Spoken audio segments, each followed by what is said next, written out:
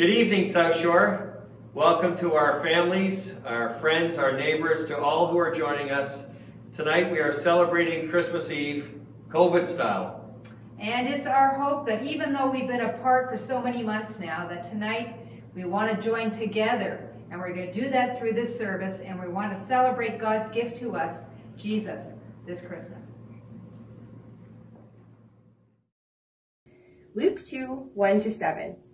At the time, the Roman Emperor Augustus decreed that a census should be taken throughout the Roman Empire. This was the first census taken when Quirinius was governor of Syria.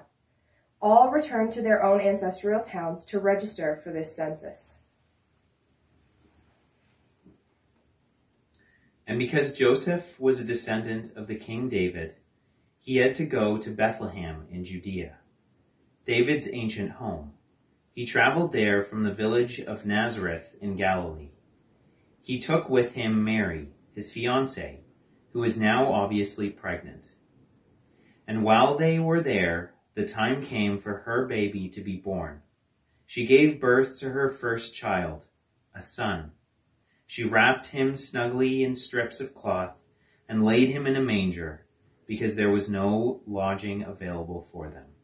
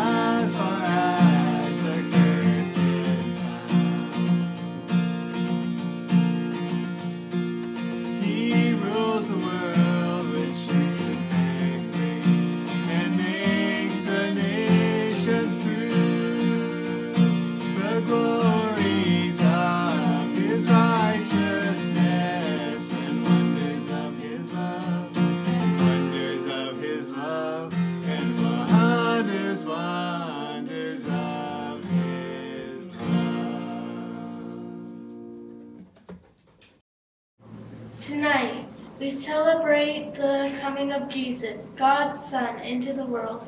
The angel said, Do not be afraid. I bring you good news of great joy that will be for all the people. Today in the town of David, a Savior has been born to you. He is the Christ the Lord.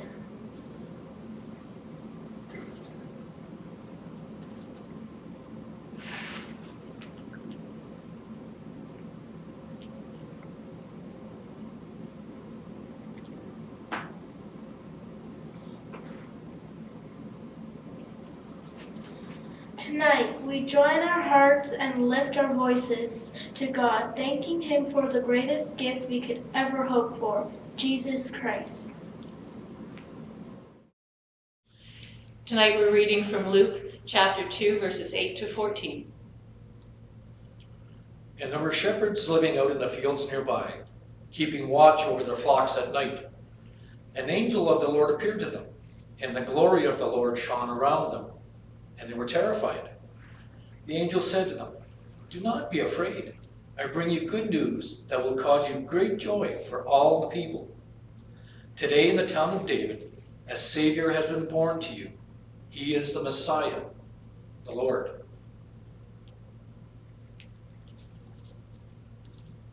This will be a sign to you. You will find a baby wrapped in cloths and lying in a manger. Suddenly, a great company of heavenly hosts appeared with the angel, praising God and saying, Glory to God in the highest heaven, and on earth peace to those on whom his favor rests.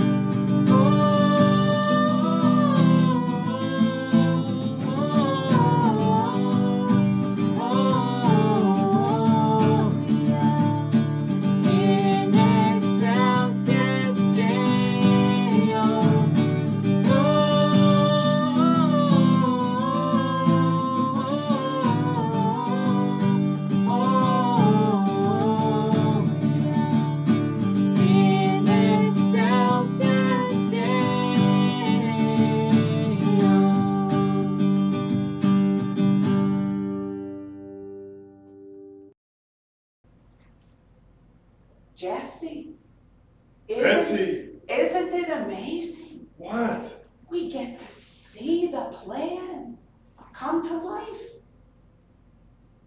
It's here? It's, well, God is showing us from heaven. It's so neat. Oh. I love it. Do you remember? He said he was going to send an angel and, and to do a bunch of things. Where did he send him? Look, look. He's sending him to the shepherds, an angel to the shepherds. And he's and you know what they did? What did they do? Well, when, what did you do when you first saw an angel in heaven? I fell down. You fell down because you were afraid. Yes. But the angel said to the shepherds, Don't be afraid. I bring you great news. What was the news? The news was there's going to be born a Savior in Bethlehem. Can you imagine? God sent that. The shepherds and angel, those stinky shepherds that look after the sheep, Very they, stinky. they get to hear this news first. It's so amazing. Well, do you know what else? What else? The angels were all over. They were doing a lot of work. They did a lot of work this night. What did they do? Well, first of all, who did they go to? Let me see. We saw this. Oh, of course. They went to Mary and they told her she was going to have a baby. And then they went to Joseph and said, Don't be afraid. You're going to look after my son. How would you feel? Oh my goodness. I, I watched this and I couldn't believe. I would I would be flabbergasted, wouldn't you? Yes, I would be like incredulous. Incredulous. That's a big word That's a me. big word Yeah. you, yeah. And then they went to Zachariah. Ah, Remember cousin Zach? yes. Yes. It's And in the family. and what did they tell him? He's in the tree. Yes. yes. What did they tell him? What did they tell him? I don't remember. Well, Elizabeth Elizabeth's gonna have a baby? was going to have a baby, right? Okay. And she had a baby and she named him John.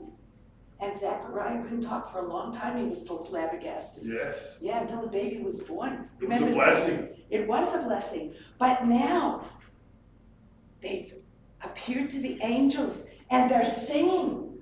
The angels were Yeah, the angels are singing. They're singing because Jesus is born.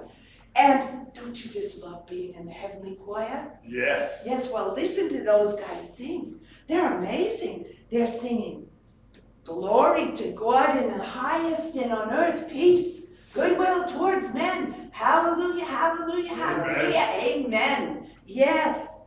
And after that, in a dream, I think, because those wise men are coming and they're following. What are they following? They're following a star in the sky. It's showing them where to go. Look, they're traveling and traveling from the east. Was it bright? It was very bright, so they could follow it all the way to where Jesus is being born. Right. Yeah, and they brought him on their camels. They packed. They packed really well. They brought a bunch of presents because they thought a new king was being born. Right. You know, like one that would rule with a scepter. Yeah. But God said, hmm, think about it for a minute. They brought another kind of a kind of present. Hold that for me. They brought What's in there? gold. Lots of gold. Gold for a king. Yes, kings need gold. And they're bringing, see on the camels there, they got it packed. Yes. And and they also packed in their in their saddlebags. Goopy stuff. Frankincense. Oh. Oh, it smells so good. A sweet, sweet, sweet offering to the king. So what is it for? Well, it's an offering for a sacrifice. I, okay. But why are they bringing that to a baby? I don't know. And then the other thing that was really weird, they brought myrrh. I, I don't get it. Why are they taking myrrh to a baby? I don't get it. Myrrh's for burial, right? Yes. Every time, but not for a baby. Not for a baby. That is just kind of beyond me. I don't understand that at all. Jesse, God has let us go and see the baby. Yes. Are you excited? Unbelievable. Okay, let's go. Go. He was born in Bethlehem. We can go right and look right now. At the baby? Yes, come over here and look. Oh, Jesse, Boy. But there's something wrong with this picture. What? Well, he's God's son. And he's lying in a feed trough But that's all there was. in a stable. It was the only place they could find. Yeah, but but that doesn't make any sense. What do you want to do? Well, I don't know. I I I remember John. Remember John? John? The Baptist, the baptizer guy, he said, we gotta prepare our hearts, we gotta prepare the way, we gotta get everything clean and tidy and and make it work. And and I just don't know what that means when I see this manger lie, baby lying in a manger, like maybe we gotta tidy up. Oh wait, Jesse, wait, what are you doing? Well, you said clean up. So I'm just sweeping up. That's what John the Baptist said. You got to prepare the way. So I'm just preparing the way. That's all I'm doing. But Jesse, that's not what John meant. What did he mean? John meant we gotta get our hearts ready. This is God's How do you sweep out your heart? You ask God to take away all your sin and forgive it. Oh. You tell him you're sorry and you want him to forgive you. The Savior, the Messiah. Jesse, put away your broom. Put it away? Put away your broom. Okay, I guess I don't have to clean that way. Put away your dustbin cloth. Okay, here, Yeah. you put that over there. Because we're here, we get to see the Messiah. Oh, come, let's adore him, let's worship him. Let's worship together.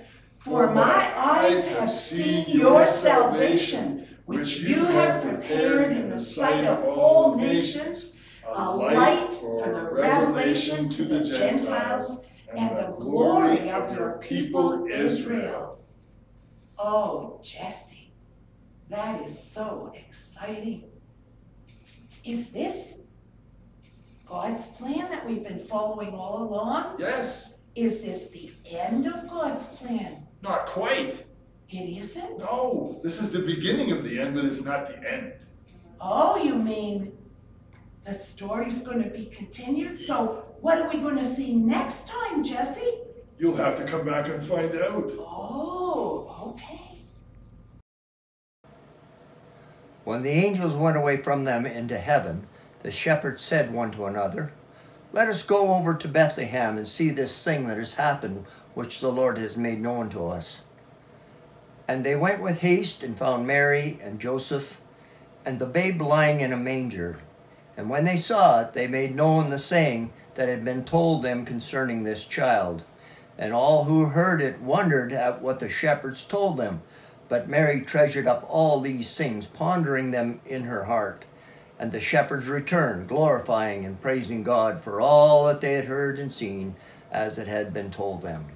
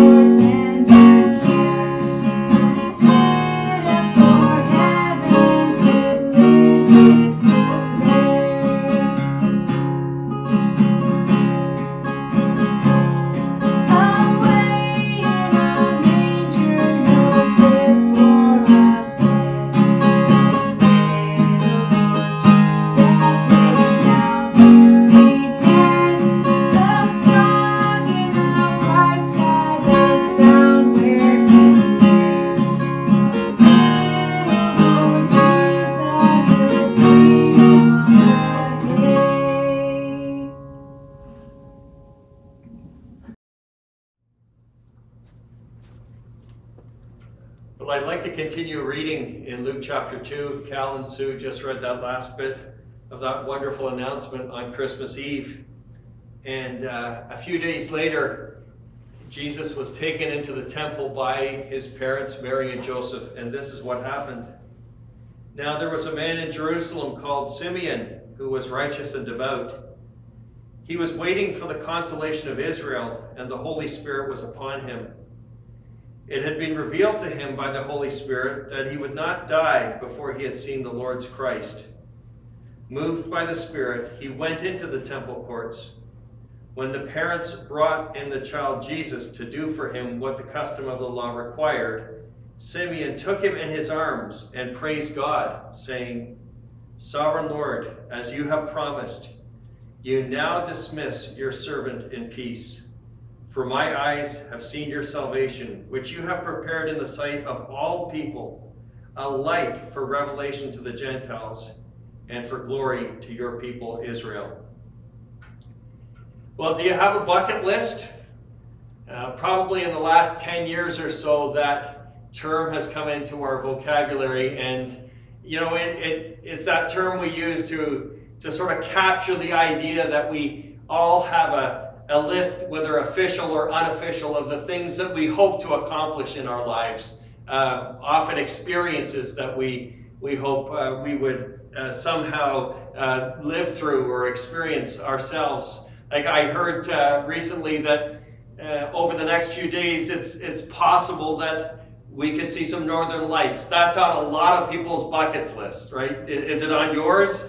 that site, I've seen the northern lights a few times. Some people have never seen them and they're, and they're, they're saying, that's on my bucket list. I want to see the northern lights.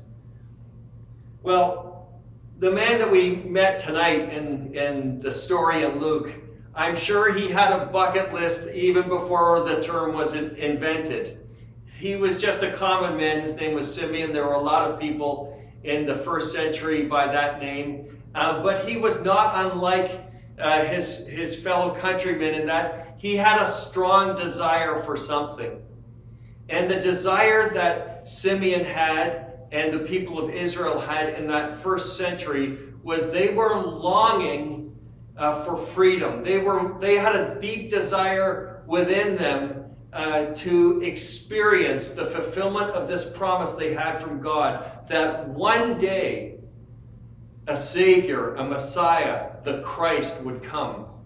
And uh, the people of Israel, they had this weight on them because they were oppressed. Uh, the Roman uh, Empire was in its full force, so they were kind of under the thumb of Rome. They, they were oppressed sort of politically. They weren't, uh, they weren't a free people. They were living like under martial law because the Romans were, were strong and fierce. Uh, but greater than that, the, the Jewish people of all people on earth, they had kind of internal heaviness, a spiritual heaviness, because God had chosen them of all the nations, and He had given them His law, the Ten Commandments, that, that moral code that distinguished in its most basic form between what was right and what was wrong. And the Jewish people knew this. They knew the law, but they also had this awareness in their hearts that they never lived up to it fully. And so they had a spiritual heaviness in them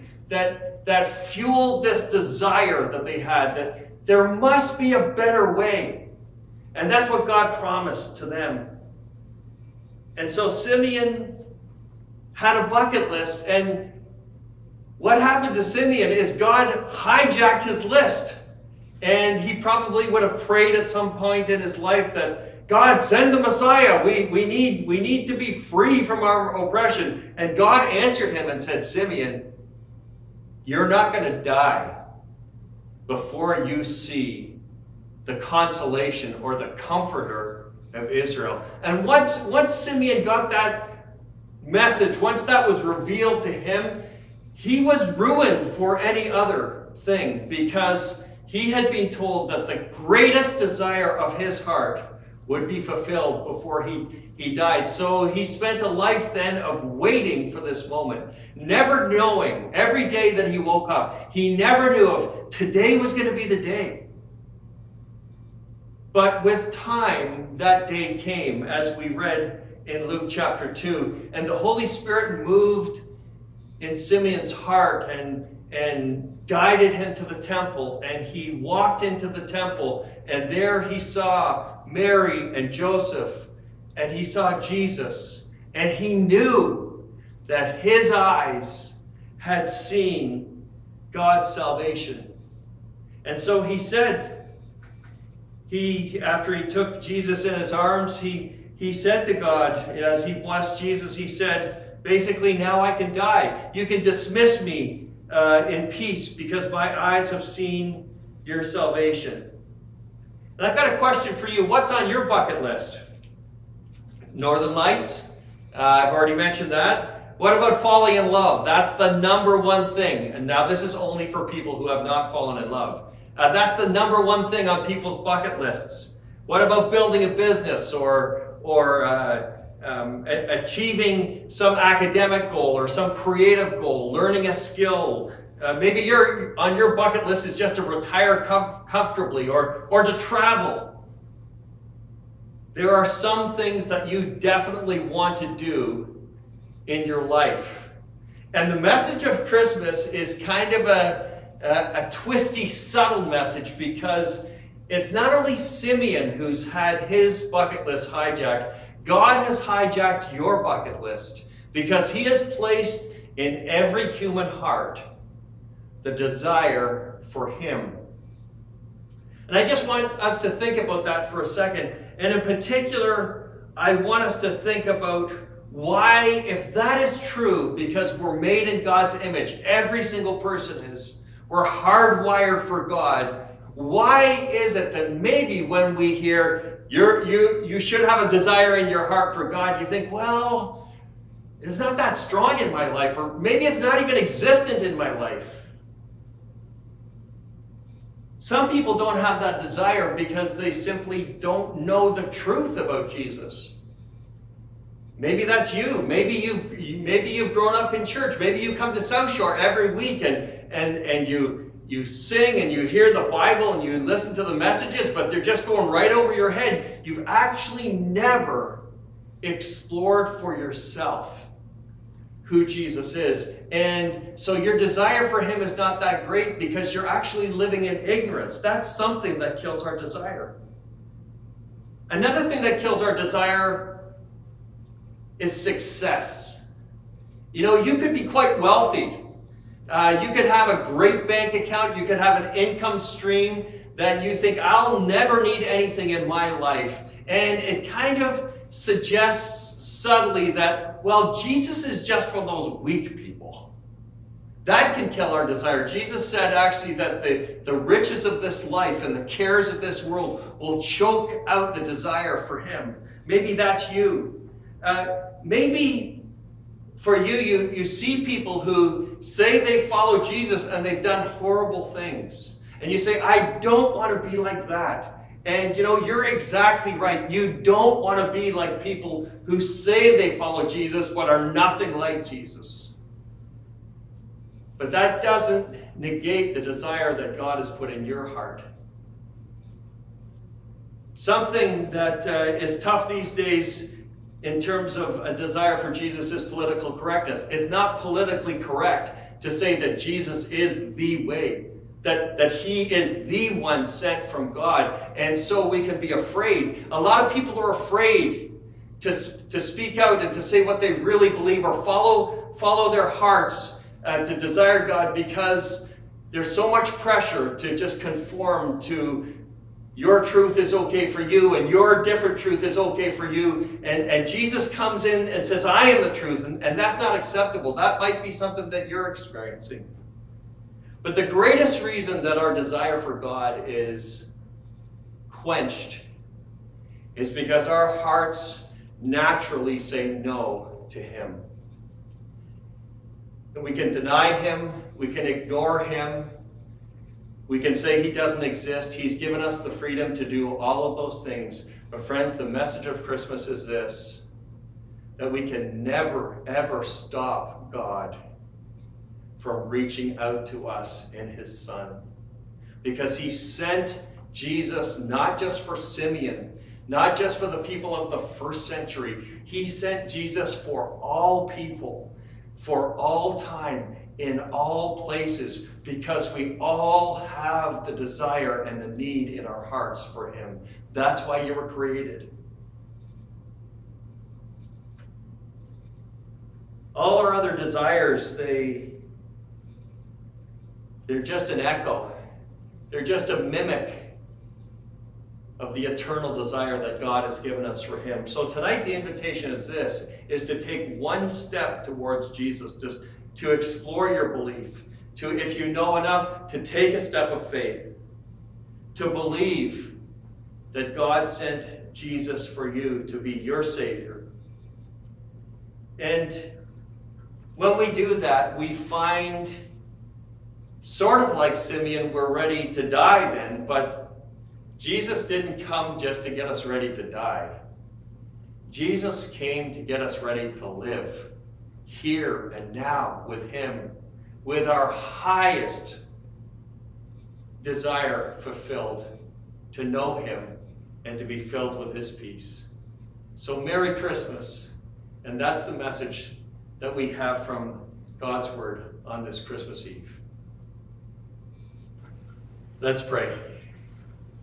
Heavenly Father, we thank you that you care so much about us that, that you've hijacked our greatest desire and you've made it for you, not so that we can be taken captive and, and lose our life, but so that we can be finding our life in you. And thank you, Lord, that uh, whether we're rich or poor, regardless of our age, regardless of any external thing about us, Lord, that when we find you, we find the peace and the fulfillment that we were created for and that we're longing for. And so we ask that by your help, you would give us the strength and the courage and the grace to follow you tonight. In Jesus, we pray in your wonderful name. Amen.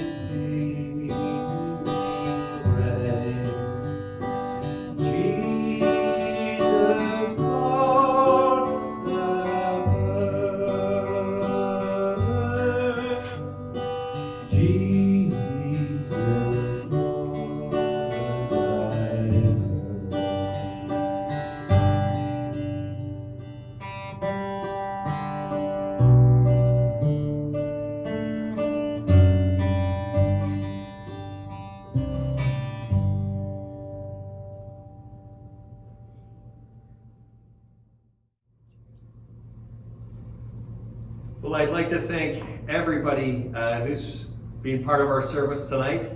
It's been great uh, to be together. I know just at the beginning of the service, Val had mentioned that we've been apart for many months, and hopefully, in some way, uh, tonight we felt a little bit more together. And uh, so, as is our South Shore tradition, we want to wish everybody a Merry Christmas. Refreshments will be served uh, right after the service in your living room and uh, we want to sing Feliz Navidad. So, Merry Christmas, everybody.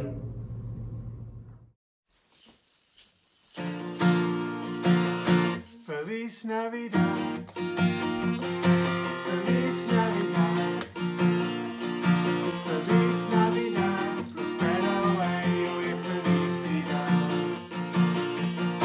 Feliz Navidad.